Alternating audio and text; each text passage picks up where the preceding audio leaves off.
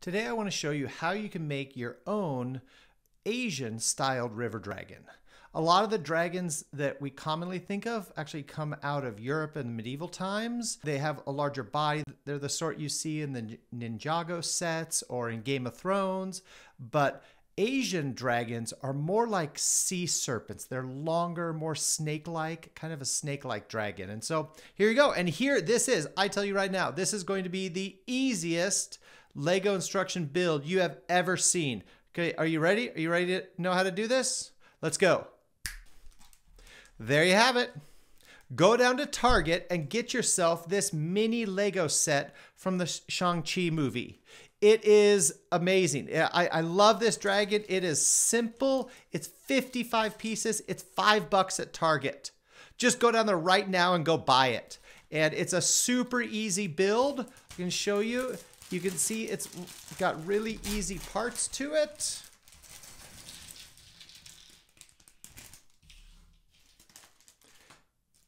It's so easy. Look at these instructions. So you can take all of these parts and turn them into an awesome dragon. There you have it. Look at this. Isn't this a great set? It's fully articulated. Each of the joints can move. Oh, or come off. There we go.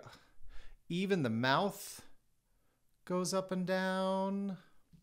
But I just love how this captures the Asian style dragon so well. And and so one now one thing you might notice is so I converted mine in from a full dragon like in the set to a river dragon, kind of that sea serpent look. And so there there are just a couple things to do to convert this into that. Fundamentally, you just need to figure out how to attach the joints onto a base plate instead. So I started with just the head and then just the tail. And then I got some pieces here, as you can see. Instead of the ball joint, I used a clip joint. Okay, and so I started with the ball joint up at the head. I took that off and I moved that one to the back. And instead added a ball joint here. And then one of the other things I also did was reversed all of these just to make the clipping a little easier. Okay, there's that. And then here's the clip and then add the back to it as well. Okay, so there you can see that's how I did it. And then it can stick onto the edge. Okay. Then if you want to stick into the middle, the secret is you just have to add a little stud in the middle there. So it can stick just like that. Okay. So that's what I did with the first one. Now let's talk about the back.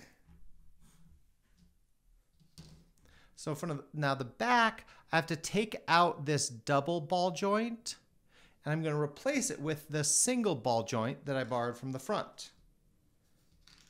Okay, so pull that out. Still use that for the tail and then still use the top pieces.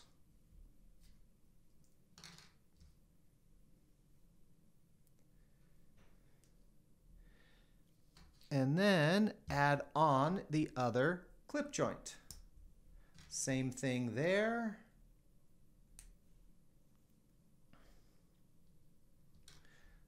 And voila, there are the two pieces to be able to add it into a river.